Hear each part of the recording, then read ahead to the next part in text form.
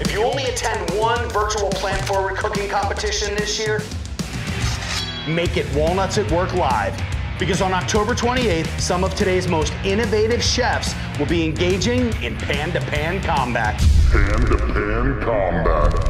This live virtual chef versus chef plate off will exclusively feature plant forward recipes made with California, walnuts. walnuts. The winner will be decided live by you and an interactive voting system. There'll even be special appearances, Special appearances. from top industry professionals. Plus, plant based trends, insights, and kitchen tips. Register today Register for today. Walnuts at Work, a plant forward chef showdown on October 28th.